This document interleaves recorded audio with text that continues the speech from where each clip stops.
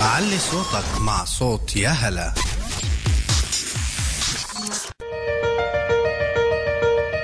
You are now listening to Imprint with Nesreen on Yahala Voice.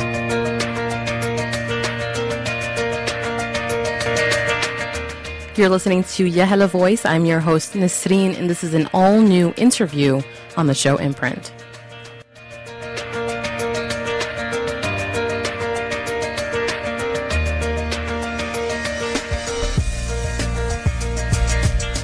Guests featured on the show left imprints for us to learn and benefit from. Listen to us on our main website at www.yahalavoice.com.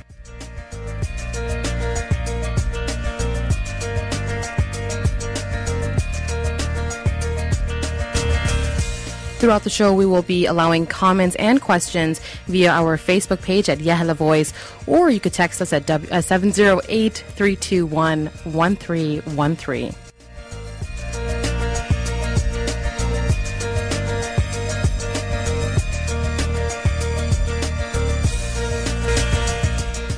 She is beautiful, but don't let that fool you because she has the brains and muscles to go along with it. She's the winner of the 2010 Miss USA title and Miss Michigan. She has been trained to be a professional wrestler in WWE. She's on the top 99 most desirable women in 2011. Originally from southern Lebanon, Rima Fakih is the first Arab American and Muslim to win Miss USA. Rima, it's a pleasure to welcome you on the show. Thank you so much. It's an honor to be here today. Rima, so how did it all start? Pageants, winning the title? um, actually, I don't know. Um, it's a good question. No one ever started the interview that way. But to be honest, I never saw myself possibly entering a beauty pageant. Um, I used to watch it at a young age, but I was always very short, very shy, and a big tomboy. Now, did you have experience prior to going into Miss No. Michigan? I had zero pageant experience, actually. Well, I know that. I think that's what helped me win. mhm. So I know that when Being you started out with Miss, Miss Michigan in the contest, you had to give up so much to be there. Tell me about that. Mm, honestly, no one really knew I was. I had to give up uh, personal life when it came to just you know the fact that I had to work and support myself to compete in Miss Michigan. For example, I sold my car. You had to sell your car to get to Miss Yeah, Michigan. I did. Oh wow. Uh, honestly, the, the way it worked out is my father pretty much, in our culture, we're not saying we're religious, but we respect our culture. And a girl normally doesn't leave the house unless she's married. And my father used to basically tell me you can do whatever you want only once you graduate. After I graduated University of Michigan, I wanted to continue on to law school. My mom gave me the idea of entering a pageant for scholarship reasons. Um, I happened to win Detroit, Wayne County, Michigan, and then USA. Now when you My won, says I'm Kobe Bryant of pageants. Now when you won Miss Michigan, did that help you with receiving scholarships? Yes, of course it did. Um, I had the opportunity to, whether I won USA or not, to continue on to law school. Um, but in everyone's life, I believe you always have a dream and a goal. My goal was to be educated and be my own CEO one day. My dream was to be in front of the camera. So Now was I'm it specifically pageants that you envisioned yourself being in, or No. You know, it's kind of like when I entered Miss USA. I, again, they told me Michigan is never known that the girl with a nice body, fitness competition. So I entered a fitness show. I never wanted to be a fitness competitor, but it taught me to wear a bikini uh, on stage, how to walk, how to eat healthy and be fit, and I carried that on. Now, speaking I'm about being fit, I know that in 2006 Mhm. you were in a movie named Benefit. Benefruit, I apologize. What do you tell about that? Forbidden food. Forbidden, forbidden that's fruit, I apologize. You know that. That's interesting. I Well, guess, of course uh, we know that. Maybe. Well, a lot of people don't. Uh, I had an interview earlier today, and They had no idea what I was talking about when I said no. Like, my first movie was in 2003. Well, that's when I shot it. And they're like, what? So you shot it in 2003 and then it aired in We shot it in 2006. 2003. My mom actually was the one who found an opportunity and pushed me to go for it. And um, So what is Forbidden I Fruit? played a girl that wears a scarf. I was offered a different role. I was offered the girl who was Chaldean that has an African American boyfriend, but the role included, you know, making out, being half naked, and I wasn't ready to do that. So I told him I would love to play Amina, who was uh, who was the Muslim girl. So that was the first time you were on camera prior to being in pageants. Very first time. No, prior to anything. I'd never modeled or done anything. That was my very first opportunity, and it turned out to be a blockbuster, that movie. Directed by Mark. So Rima, after Miss Michigan, you tried out for Miss USA. Yes. What does it take to be Miss USA? Honestly, um, girls might not believe it, but they do not want that peppermint patty. I think we call it pageant patty. They don't want that girl. They want the, that girl that can basically think on her feet, look and look like a Victoria's Secret model walking down the stage, but yet you sit with her, she can, you know, teach you so much by just one conversation. So the way Donald Trump likes to refer to it is the reason we don't have a talent portion in our pageant is because we expect ourselves to be multi-talented. We see our women as the first lady, as the speaker uh, and representative for the United States of America out there. Beauty is 50%, but brains come first. You know, it's interesting that you mentioned the portion about having a talent. Now, I know that Yeah. with pageants, they usually do have a talent portion. And with Miss USA, there wasn't. No, no, no. And I believe that if you look into it, everyone can have a pageant. You, I'm sorry, you can say Miss Hello Radio 2014. eh? anyone can have a pageant. But what is the real pageant? Who is the real beauty queen? Let's look at myself, who broke barriers. Let's look at Olivia Culpo, who was Miss USA slash recent Miss Universe dating uh, Nick Jonas, and they're doing a lot of charity work together right now. You, you got to look at Miss USA is and Miss Universe is the beauty queen that everyone aspires to be, and everything else is imitation, in my opinion. I don't mean to sound cocky. So why did you want to win? Sally dance, and I could play a clarinet, but I'm not a professional. Mm-hmm. But I can sit down with President Obama and pitch a great idea.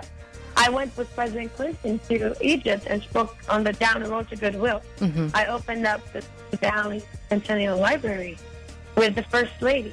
I'm just saying, being Miss USA, it doesn't matter if you can play a clarinet or a piano, as long as you're a true image of the United States of America. Now, I know you also Mhm. spoke at the Ronald Reagan Centennial Celebration. I'm sorry, say that one more time. I know that you also spoke at the Ronald Reagan Centennial Celebration. I have to say that was the highlight of my reign. Well, why don't we take a listen to a clip from your speech? Oh, thank you. I'm, I'm very happy for that. Thank you. Go ahead. Claire. Last May, when I was crowned Miss USA, it was the proudest moment of my life. But being here now, celebrating the 100th birthday of former President Ronald Reagan, matches the pride and honor I felt that night. The fact that I am the first Muslim and the first immigrant to be crowned Miss USA speaks volumes to the fact that anything is possible in this country.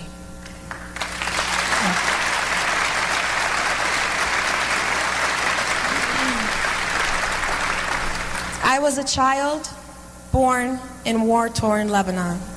I have vivid memories of hiding in shelters from the shelling. While hiding and hoping just to stay alive, I could never, never have imagined being here today as an American citizen, honoring a man that I consider to be one of the greatest leaders of the 20th century. Thank you. This is truly a highlight of my year as Miss USA. You simply cannot be Lebanese and not know and respect President Ronald Reagan. In fact, my uncle, um, who actually immigrated to California, admired the president so much that he named his youngest son after him.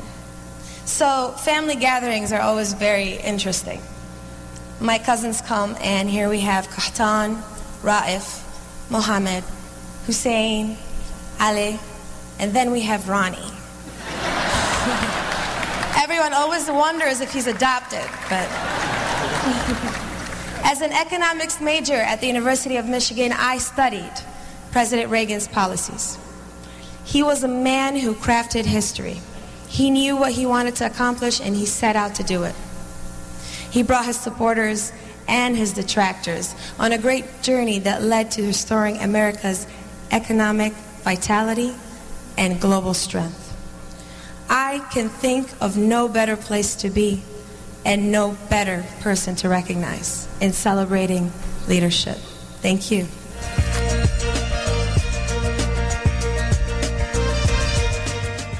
Now, Rima, among everything that you've done when you were Miss USA, you said this was the highlight.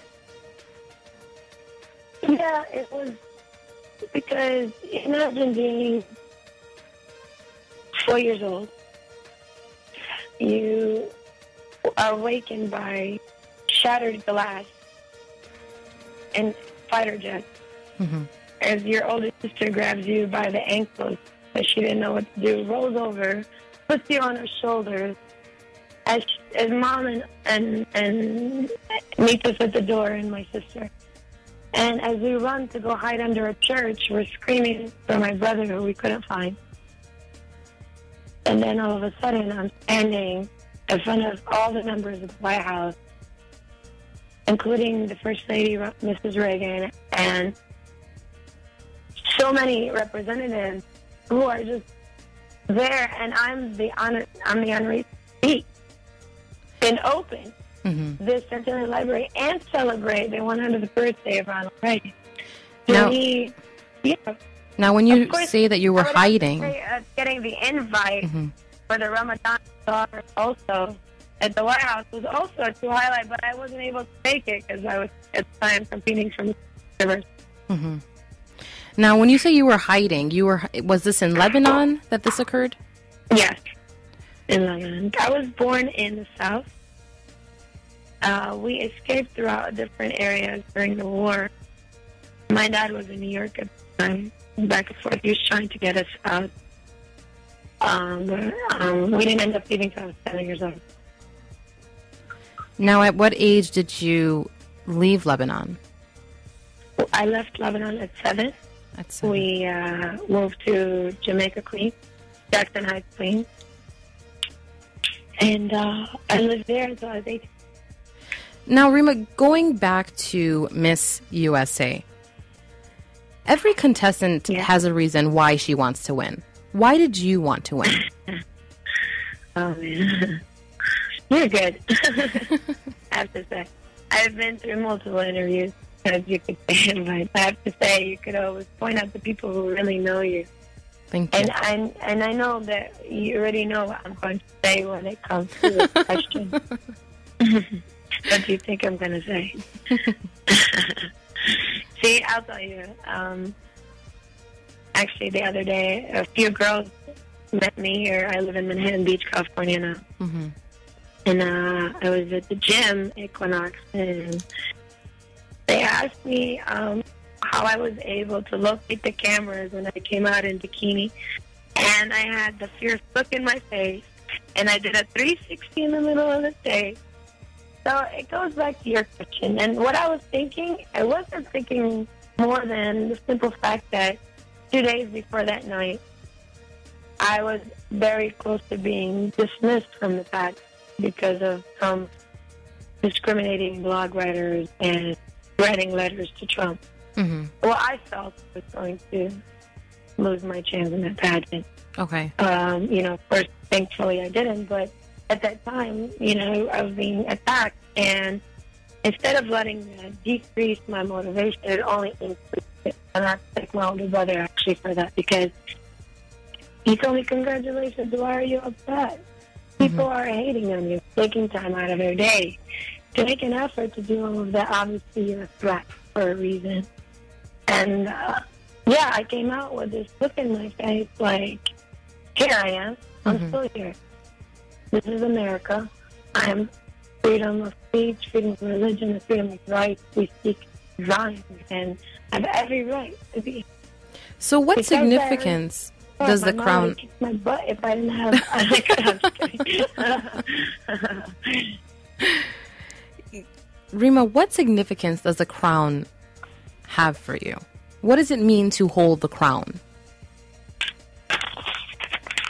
Um, I mean, I don't see this crown as my. People always ask me, "Oh, you have a nice place. Mhm.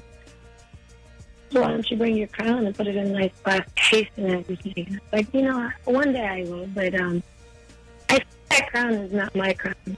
I really don't. Um, I see it something that belongs possibly in the Arab American Museum in Dearborn, Michigan, where actually I, you know, was very honored to be there when it first opened, and because that crown became a mess. I mean, I when I was Miss USA, I told them I didn't know what to say. Them, talk to me after I have a pizza. I was overwhelmed because I was going towards towards crown. Like, okay, I because I'm Arab, because I'm Muslim, you're going to try to, you know, Mm-hmm. tell me I can't be here, you know. But um, I made it, and I feel like that crown is an example. It made history to me. Now, Rima, on the Miss USA Martin Luther King website. People. I'm sorry, keep going. yeah. Rima, on the Miss USA website, it indicates that the contestants are savvy, goal oriented, and aware. They strive to advance their careers, personal and humanitarian goals, and as women who seek to improve the lives of others. How did you improve the lives of others? um, I can't speak for others, but what I hope I did accomplish is to be that example for a lot of individuals. I'm not saying Arabs, I'm not saying Muslims, I'm not saying immigrants. I'm not saying girls or boys. Mm-hmm. I'm saying that person who sits there every day and says, I want to do this, but, um, you know, these these people try to hurt me, and so I'm going to stop doing so and so. I have to be that example. Well, you are also the ambassador of the Pink Fund. Just a back, background information the Pink Fund is a financial assistance organization, and REMA dedicated to helping remove the short term financial burden for breast cancer patients. I was um before I was Miss Michigan. Um, yeah, really. I uh, I met Molly. Mhm. So I think it was after I was from Miss Michigan. I met Molly. Um, she was the founder of the organization, Now, and I. I helped, you know, with a lot of different events. mhm. But after you win Miss USA, um, you carry on Susan G. Komen, or um, have the Gilda's Club. You know, you do a lot of different work with breast and ovarian cancer as well. But I also did try. I think it's big. Now, I know that you were also part of assisting in breast and ovarian cancer education as well. What do you tell us about that? The education goes a long way because our Arab, I mean, women, Arab American, and uh, before I was Miss USA, I volunteer at the Access at the Arab American Community Service Center.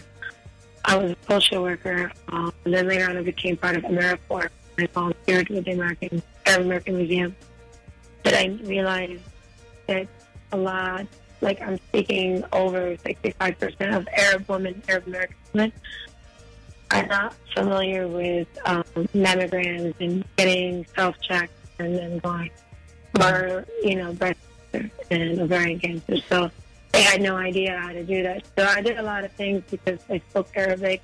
I spoke a little Spanish, and, and I was doing really well translating. So when I moved to Michigan, I took part in that, educating them on how to look for lumps and self check and mammograms and diets and eating healthy and how much it makes it goes a long way with with we're going to go into more detail about the accomplishments that Rima has, as well as more information about her Miss USA 2010 pageant right after the short break.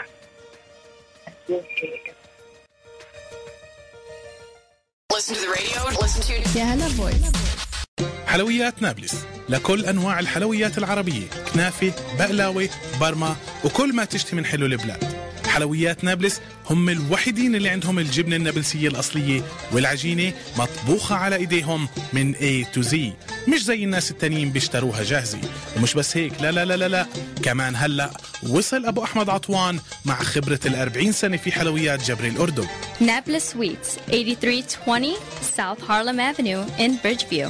Telephone number 708 529 3911. Get $10 off when you spend 40 and $5 off if you spend 20. ادخل على ياهلا فويس دوت كوم أو صفحة ياهلا فويس على الفيسبوك للحصول على الكوبونات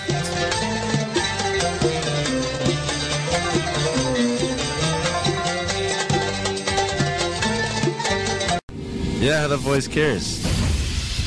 Mention us to get hired. If you are a fryer, a grill cook, you are wanted. Call Mike, he is hiring now. Call Mike now at 773-557-5555. Mike is looking for a fryer and a grill cook. Call us now at 773-557-5555. وأنا لما حكيت طلباتك ما بتخلص ما كنت غلطان. يي عليك. أنت أصلا بتتفرج على الزاب تي في أكتر مني. أو لا كل هالقنوات العربية والأخبار والرياضة وبدون دفعات شهرية صدقيني الزاب تي في هي أحسن شي جبناه من يوم معرفتك. طيب منيح. هلأ بدنا نعمل ابجريد لأنه الزاب 509 طلع. وليش أبجريد وإن شاء الله بدنا نقعد ندفع مصاري وسعر جديد كمان؟ لا لا. أول شيء الزاب الجديد فيه واي فاي أقوى ويوتيوب أسرع وحطوا نتفليكس وكمان ما بندفع إلا نص السعر. وإذا بنعطيهم الزاب القديم أو أي نوع اي بي تي في يعني مش ضروري يكون الزاب. عن جد؟ خلص يلا يلا. اعملي أبجريد للزاب اللي عنا www.zaptvlive.com. Zap TV. The world is in your hands.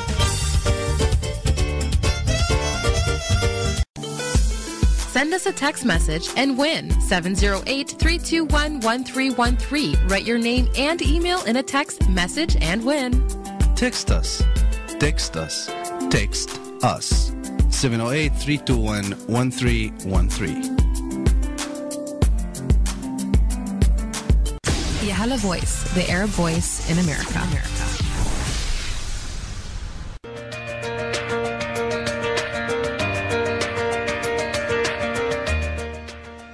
Back on the show Imprints with our guest for today, former Miss USA 2010, Rima Fakih.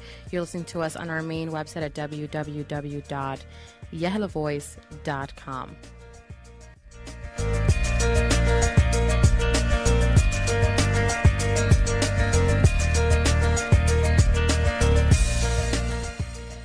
Rima, I want to visit a portion of the Miss USA 2010 pageant. Part of the competition, you have to wear a bathing suit. Yes. What reaction did you expect to receive from Arabs and Muslims in the community? I didn't think about it actually. I mean, um, I mean, first I thought about it. You know, I was not concerned about that. I was concerned about what my father thought. That my father. So, what does he think? He accepted. He told me that he saw that as a sign of health and fitness, and that he knows that uh, how much I do in the community, and he trusts me, and I'm a good girl. And wearing a bikini shouldn't be a bigger example than not wearing a bikini and being that person in real life. So, to me, my father was the only. I mean, the only person's opinion I cared about.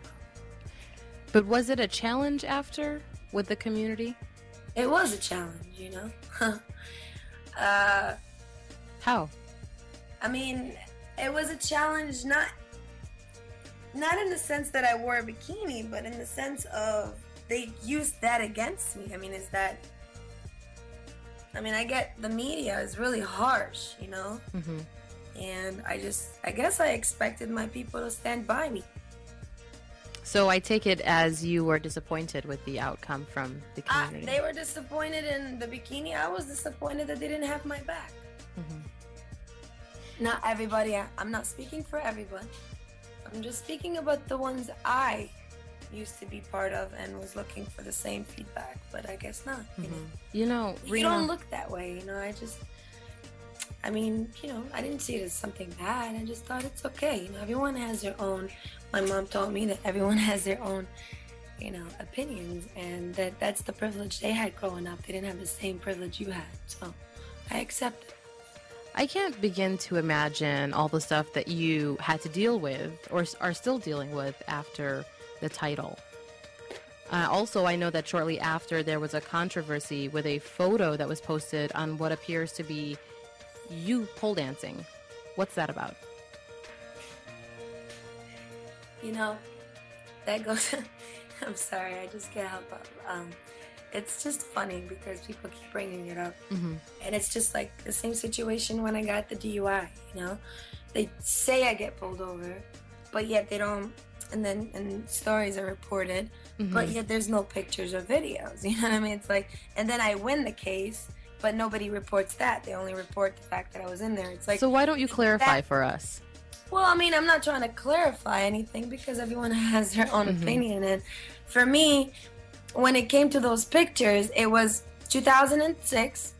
It was, um, you know, like Crunch Gym, you know, a pole dancing class. Yesterday, my friend and I did, um, um, I, don't- I don't want to, I don't want to say the name, but it's the, you know, for the women's like derriere, you know, class Mm-hmm. and um, at Equinox. And this class was pole dancing class, and those pictures were my pictures. You know, at the time I had a friend who I, I trusted, but I was wrong too, and Mhm. who had kept held on to those pictures and sold them as under the impression that I was a stripper, but it was just a gym class, Okay. and it was actually eight o'clock in the morning that day. Now, Rima, I'm aware that it's not only the Arab community that you faced a hard time from, it was actually on both ends. Uh, just to put this in perspective, you were born in Lebanon, moved to New York, then later to Dearborn. In the eyes of many Americans, you're an immigrant, Arab, and Muslim. I mean, the geographical cultural stereotypes rose to a point where individuals started to say you do not even deserve the title. What do you say about that? Um, I said actions speak louder than words. I would love to ask those people what they think now. I mean, eh, it's the title isn't something that to me was more than the simple fact of stereotypical racism, social social profiling, everything that every single race and religion has been through. Every single race and religion at some point faced the same thing that I go through still till today. I mean, I just had a Instagram post of a video mm-hmm. when I left San Francisco the other day. I didn't feel right. You know, I was asked by TSA and in front of everybody, not even behind a curtain, and they never even asked me if I can go behind a curtain. They, you know, second checked me and it was I, I didn't feel comfortable. Now, if you want me to open up, and this is what I feel, I've never uh, on Instagram. I just said, "Oh, I was randomly selected again." How random is that? But Mm-hmm. I felt upset. I did. I'm sorry. I want to cry right now because the lady literally went up and down my legs and everything in front of everybody, and there were men whistling. You know, it just that to me Mhm. is worse than that. What did he tell you? Picture or me in a bikini. That hurt more. What did he tell you? Where, um, I mean, I didn't say anything. I know it's. I mean, I know if I say something, I mean, I don't know. I, I mean, I guess it's proceed, you know, protocol. But that time, I, this time, I don't know. It was a couple incidents. One time it was in Africa, but this is the second time where I just didn't feel right. And you know, I think Miss USA, uh, 2003, had an incident like this about two years ago too. But Mhm. I don't think it was as bad as this one. And I never, you know, I don't know. I mean, we all face these things, you know. It's just, it's kind of like the only strong survive. But at the same time, you know, if we don't all stand together and just accept the fact that uh, as an American, you're never an American. You're American French, you're American Mhm. Arab, you're American Italian, you're American, you know. And a Mm. religion is not an ethnicity. It's not American Muslim. I mean, Muslim is a religion. You know, So. Mm-hmm. I'm an American Arab Muslim. Definitely. Now, Rima, I want to surface another reaction, and I would love to know about it. It's when you made the switch from Miss USA to WWE show Tough Enough. We're going to talk about it right after this. Yeah, that's good. Let's switch it. Becoming Miss USA was easy. They're gonna think, oh, beauty queen, she's too. Oh my god, oh my god, I broke it out. Becoming a WWE superstar, now that's tough. Maybe I'm crazy, but then again, that's WWE. Give her another one. WWE Tough Enough, a new reality series. Premieres Monday, April 4th following Raw on USA. Characters welcome.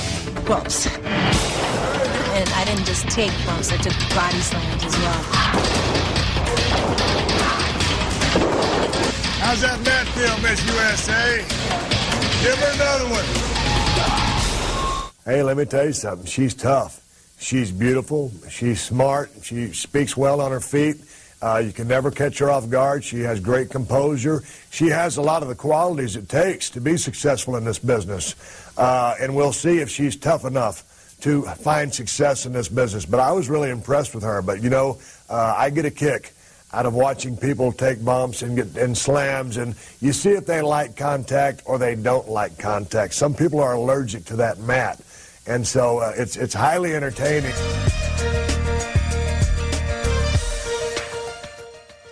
Rima, for those who aren't as familiar with Tough Enough, tell us what the show is about. Um, basically, it's about 15 independent wrestlers who inspire to be a superstar, which is a male wrestler for WWE, or a diva, which is a female wrestler for WWE. In this competition, they vote somebody off every week, and the last person who stays gets a contract with WWE. And it's uh, girls versus guys. It does. It's. I mean. I mean. Um, guys and guys, guys and girls. It's like Okay. not like girl. You know what I mean? More, what do you call it? It's Mixed? It's only it's uh, it's not unisex. It's unisex. Oh, it is unisex. Okay. Something I didn't actually know until I got there. I thought it was a. I had. I was the only one that had zero, absolutely zero wrestling experience. But So- I hey, I made it for a month, and the only reason I left wasn't because I bet I was voted off. It's because I had three fractured ribs, which I was Uh-huh. trying to hide. Well, given that you didn't have any wrestling experience, what made you want to get into wrestling? I know that many people are probably shocked about it. I mean, Miss USA is now in wrestling. Well, why not? Why can't a woman be tough? If you look it up, um, when I won Miss Michigan, I was the very first beauty queen to ever provide a free self-defense class at the YMCA by two SWAT team trained females for women, and it was booked every Saturday. I mean, why? In Detroit, I did that because at the time economy was really bad. And here's something people don't know: Detroit looks worse, I bet you, than Afghanistan. I mean, in every block, you only have three houses still standing. Mm-hmm. So women were the first target for people who are hungry. So these classes were for women. And when I had this opportunity provided by Paula Shugart, the president of Miss Universe organization, I said, "Of course I want to do it. Let's go to war. let's let." And, and you know what? When I was on the show, it's funny because the director was like, "Oh, by the way, it said enter beauty queen, exit beauty queen." I said, "What? There's a script?" He's like, "No, no, no. That's a bet. That's the bet that the interns." So they placed bets on that. well, because I was on the show, they thought I was like a pinata for everyone to pick on. But Mhm. they didn't know. I'm like, come on, people, think about it. I was like born in South Lebanon, Mhm. raised in Queens, and then I moved to Detroit. I mean, the only thing I'm missing is Compton. Mhm. I'm already tough. Given where you lived, yeah, I bet. yes.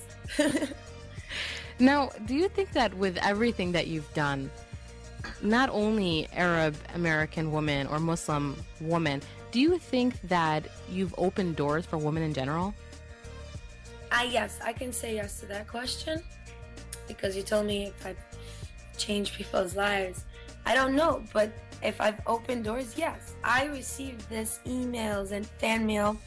You could ask my friend who's next to me. We were just kind of like admiring the fact that I just got this place in Manhattan Beach, and my fan mail started to come in, and it's like Belgium, Germany, Poland, like Texas, Mhm. Yemen. Like it's amazing. Yeah, it's great. It feels great. And people tell me things like, "Oh, well, because of you, I'm gonna go after ice skating." And um, oh, Rima, I entered the Special Olympics. You know, because of I also do stuff with Best Buddies organization. Like these things to me make a big difference. So you've become a role model for women.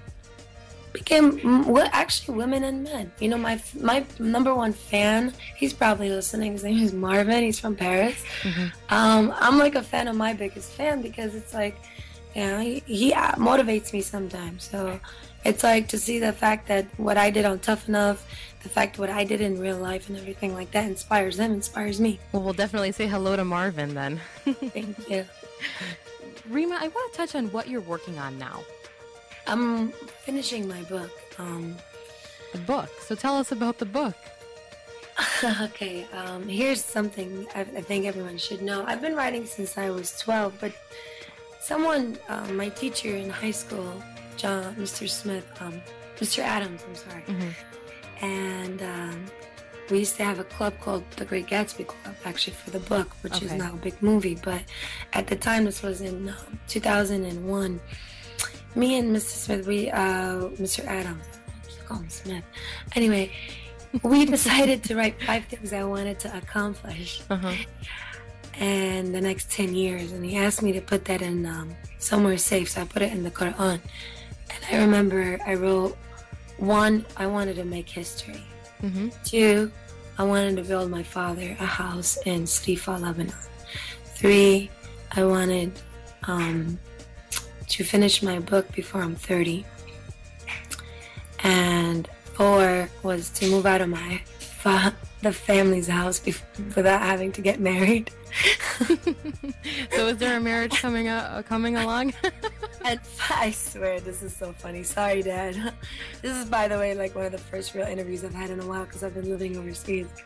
But five, the fifth one was to um, finish uh, my passport pages because I want to travel the world. And I'm happy to say I've accomplished three out of the five. The fourth one is my book, which um, I reached 30 in 2015. That's why, and I've been writing since I was 12. I What's the name of the book? I haven't picked a name, but it's definitely. So tell us what it's about. It's about, you know, it's about my journey because I've been writing since I was 12. So you kind of get the sense of what, why, and like kind of. It's kind of weird, but all right. Because I used to not believe in keyboards or anything, all Mhm. my writing is on paper and pen. I decided I couldn't type all my 36 journals up. So what I'm going to do is I decided to start writing, which I already did. What I did now is I kind of turned like how people turn reality into movies, like um, Syriana or Modern Family. I'm doing that with my book. So instead of retyping my journals, I take snap pics of my journals sometimes and let you kind of read the words that I felt at the moment. Mm-hmm. Like the day when I was questioned if I was related to anyone with Hezbollah. Like, and I felt very discriminated. I wrote about that, and you can tell the picture of that page is capitalized letters, and you know, it looked like I was very, very hurt and angry, and like mm-hmm. spots were like wet from tears. Like, I want people to see that. Now this is going to start with you living in Lebanon and then making it making it in America. It's gonna go from me starting in Lebanon, New York, Detroit, Miss USA, then running into a lot of difficulties, and then coming back up. You know. Now, Rima, before we go, I want you to tell me about your plans for the near future. What do you have planned? Um, I take it day by day, but where I see myself in five years, a mother, a wife, uh, coming out with my third book, um, and definitely launching my own organization. So, what do you have planned for an organization? What type of organization? Multi-purpose, but mostly concentrating on children because that's my true passion. I love kids. I mean, that's why I see Angelina Jolie as my role model She's the United Nations ambassador. She's adopted children from all over the world, including Syria. She, a mother, a wife, an actress. I mean, come on, she does it all. And that's been my motivation since I first saw her in the movie Gia, actually. Mhm. Definitely. Well, Rima, before we go, why don't you give a word of advice for any woman that are wanting to go into a field in media or be, become known or in, in the celebrity field? Okay, in the celebrity field and becoming well known and in the media, you have to be your number one fan first. To a point where I know this is going to sound silly, but let's relate to people. Here's what it is, girls. Mhm. To a point where nobody can take a bad picture of you. You don't even have to look when people take a pic and say let's Instagram it. You don't you don't have to have to check it. You already know you look good. You have to know. Yes. That's the problem that women have. They take millions of photos. you, like I wear outfits I never try on because I just know I'll rock it. You know what I mean? You gotta. I'm not saying, hey, I'm not. It's it's called big headed to people. Call it Mhm. big headed. I don't care. But I'm a very humble person. Not big headed. I would say it's confidence. I've never dyed my hair. I've never had plastic surgery. I'm blessed. I'm not Mhm. saying that it's a bad thing. Maybe later on, ladies, I might do a little lifting depending on the age of my husband. But but what I'm saying is, girls, someone very smart once said to me, and she's the best best runway walker in the world ever. She said, Rima, when you walk out on stage, you're only thinking two things. Look at it. Two people are looking at me right now. Those who want to be me and those who want to marry me. Thank you very much. Words of wisdom right there. Work it, ladies. well, Rima, I'd like to thank you for being with me today on the show Imprint. Once more, so we were with the beautiful. I hope to come back again because I actually, of course, just was offered a movie role. So maybe you might be the first interview I do after. we would love that. prescribed to get And an if you're in Chicago, we would love to have you in the studio. Thank you so much. Dream big, guys. Don't forget. Once more, we were live with the 2010 Miss USA, Rima Fakih. She's beautiful, smart,